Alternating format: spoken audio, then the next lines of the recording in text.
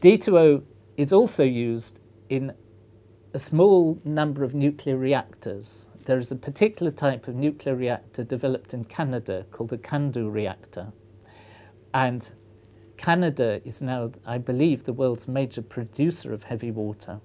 And the advantage of this heavy water reactor is that you do not need to enrich the uranium as much as you do for other reactors. So you have to put energy in to make the D2O, but you don't have to do the careful separation of the isotopes of uranium, which we also mentioned in one of our other videos. And so in, in some ways, it's much simpler to make these sorts of reactors. So there's a trade-off, whether you use D2O or H2O. Good, good. There's one other point I yeah, should just ahead. make. Go ahead.